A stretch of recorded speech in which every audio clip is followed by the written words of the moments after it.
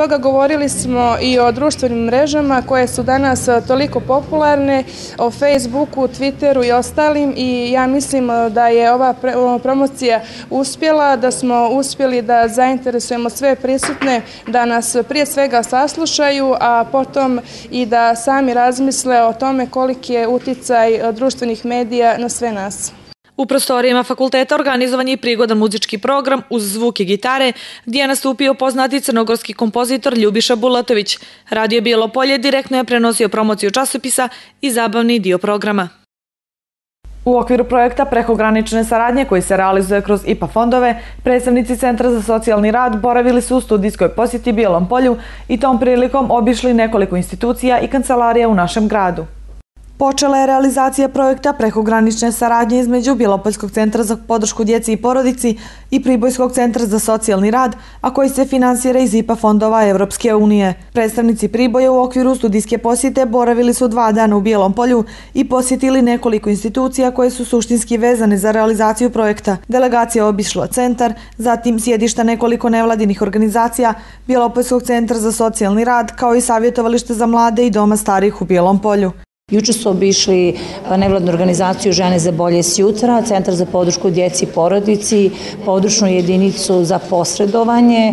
Danas obišli smo Centar socijalni rad, zatim dnevni centar TISU, dom stari, ti se sad i nalazimo. Još imamo planu sad da obiđemo savjetovalište za mlade reproduktivno zdravlje i SOS telefon za žrtve nasilja, nevladnu organizaciju.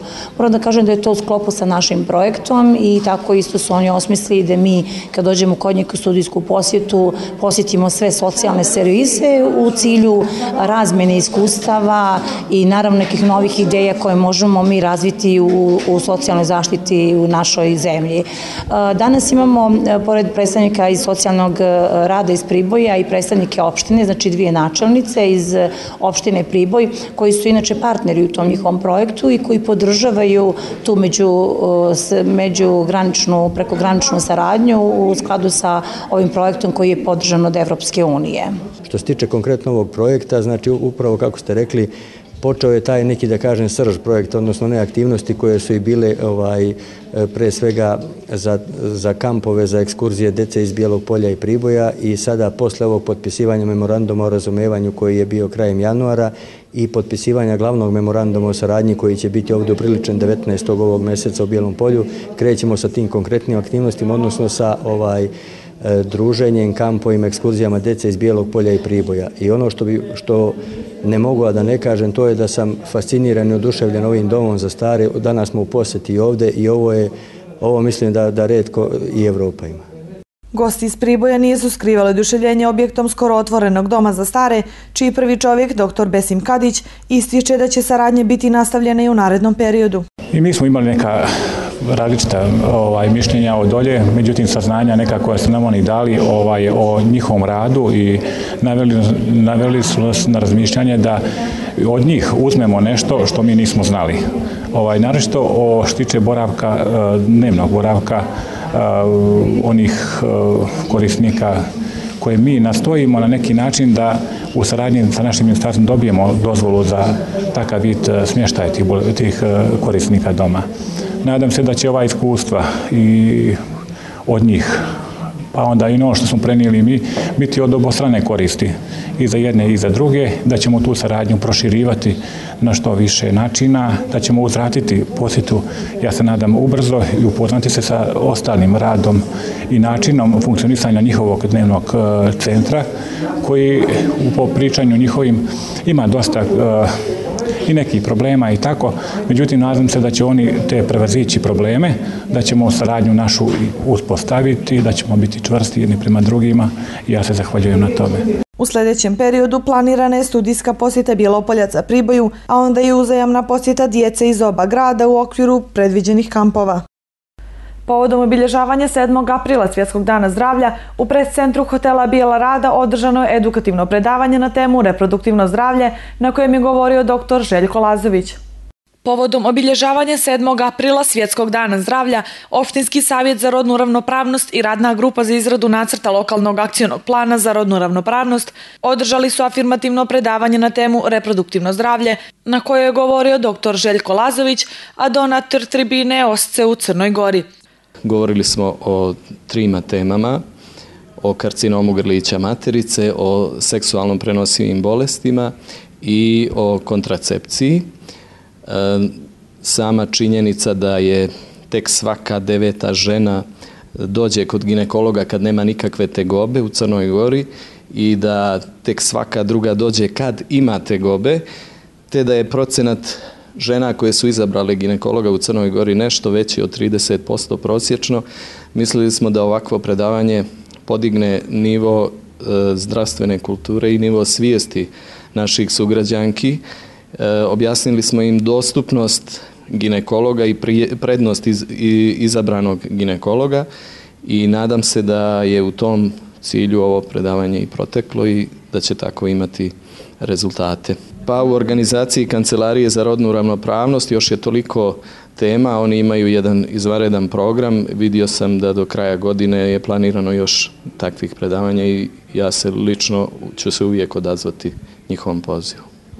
U Bijelom polju održana je redovna sjednica opštinskog sindikalnog povjereništva na kojoj su članovi raspravljali o nekoliko značajnih tačaka dnevnog reda.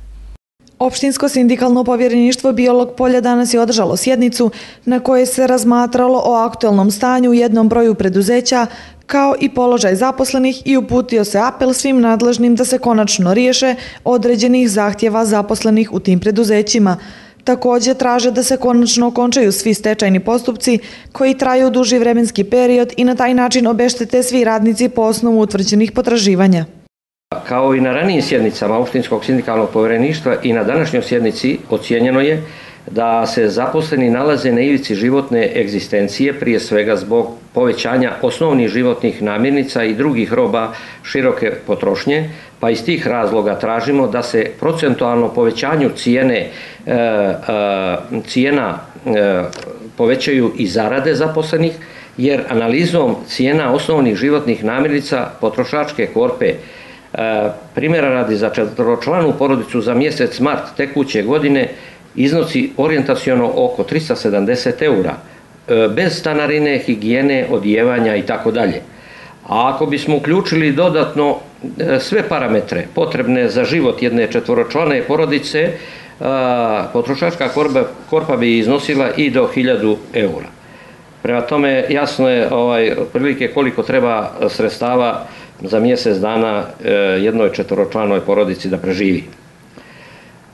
Također na ovom današnjem sastanku smo ponovo poslali urgenciju da se pristupi izgradnji e, stambeno-poslovnog objekta u Nikoljcu, e, da se e, počne izgradnja i apel prema Crnogorskom fondu da se da se jednom ovaj pristupi izgradnji jer imamo veliki broj radnika ovih dana koji dolaze i pitaju kada će početi izgradnja stambeno-poslovnog objekta u Nikoljcu. Drugo, vrlo bitna stavka koja je važna u ovom trenutku za radnike, za zaposlene, e, uopšte sve je zakon o radu. Znači, kada se radi o predlogu zakona o izmjenama i dopunama zakona o radu, opštinsko sindikalno povjereništvo e, ne prihvata naknadno dorađene E, izmjene i dopune zakona o radu i tražimo da se isti povuče iz dalje procedure. Sve to u cilju zaštite ekonomskih i socijalnih interesa zaposlenih koja se predlogom zakona o izmjenama i dopunama zakona o radu drastično narušavaju, tako da se princip pravne sigurnosti zaposlenih ozbiljno dovodi u pitanje čestim izmjenama ovog zakona, kojim se umanjuju stečena prava zaposlenih. Bjelopolski centar za kulturu u Velikoj sali organizovao je 23. po redu tradicionalnu smotru modernog plesa za učenike lokalnih osnovnih škola. Današnju 23. opštinsku smotru modernog plesa učenika osnovne škole iz Bijelog polja otvorili su mališani iz vrtića sa svojom koreografijom pripremljenom specijalno za ovu priliku. Mališani su publiku oduševili svojim umjećem i igrom. Plesnoj grupi osnovne škole Marko Miljanov pripalo je prvo mjesto, Drugo mjesto dodijeljeno je školi 9. maj iz Sutivana, a treće školi Aleksa Beća Đilas iz Ravne rijeke. Novogodišnjoj smotri ritmike i modernog plesa učešće su uzele četiri plesne grupe, a smotru je pratio žiri u sastavu Lilijana Ivanović, predsjednik žirija, članovi Irfan Mekić i Julka Vukićević. Ovogodišnja smotra pokazala je da je, bar u odnosu na neke ranije godine, e, sve manje interesovanje za moderni ples. Ja ne znam zašto je to tako. Meni se čini da je u nekim drugim sredinama, koliko ja mogu da pratim ovaj, to interesovanje svake godine sve veće. Ove godine, nažalost, u Bijelom polju je to svega četiri škole u, u, ovaj, takmiče, u takmičarskom delu. Ja se nadam da će to idućih godina biti bolje i zanimljivije, jer moderni ples je inače jako razvijen u nekim drugim sredinama. E, mi smo se dogovorili još u startu da ćemo kao i na velikim takmičenjima u plesu ocenjivati nekoliko elemenata, znači ritmičnost plesa, izbor muzike na kojoj se igra, koreografiju, složenost koreografije, uigranost i kostim, jer je likovnost jako bitan element u, u, u svim e, javnim nastupima i ovaj, kad smo sabrali sve te ovaj, elemente škola Marko Miljanov je zaista bila ubedljivo najbolja. Moram da vam kažem i to da smo sve odluke doneli jednoglasno, niko od nas nije imao nikakvog svog favorita, što je znak da, da je ovaj, da su nagrade tako kako su podeljene zaista pravično podeljene. Naravno, bit će i ove godine sigurno onih koji neće biti zadovoljni, ali sad kad radimo, mi se svi nadamo i svi očekujemo da ćemo biti najbolji, prosto čovek jako teško može da se distancira od onog što radi, pa da neku objektivnu odluku donese, eto, nas troje u ovoj komisiji ocenjivačkoj smo stali na stanovište da treba ovako podeliti.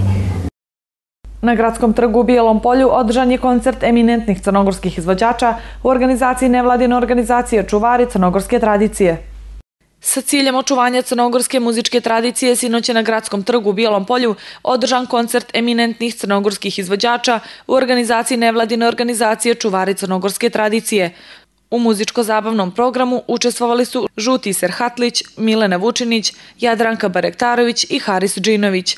Posjetom sam više nego zadovoljen, ali ne smijem da kažem da sam iznenađen, s obzirom da od jednog grada koji je definitivno prerastao regionalni centar i koji ima jako intenzivan i ujednačen kulturno-zabavni život, potpuno je logično znajući sve to da je večeras, kako sam čuo po procjenama, bilo između 8 i 10 hiljada vaših, vaših sugrađana i naših dragih prijatelja na Harisovom koncertu.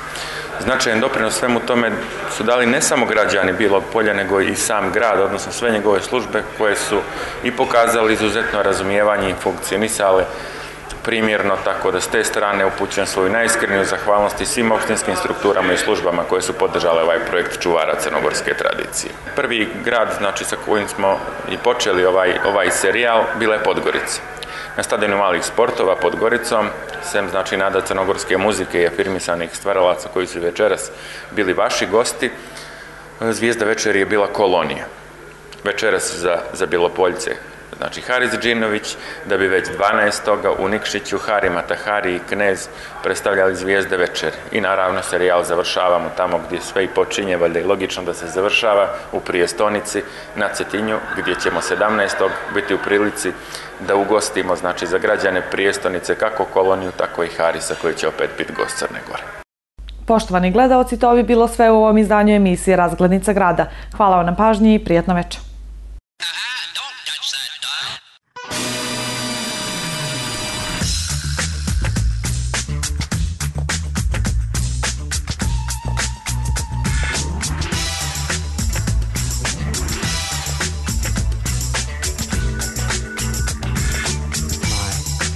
Delicious wait.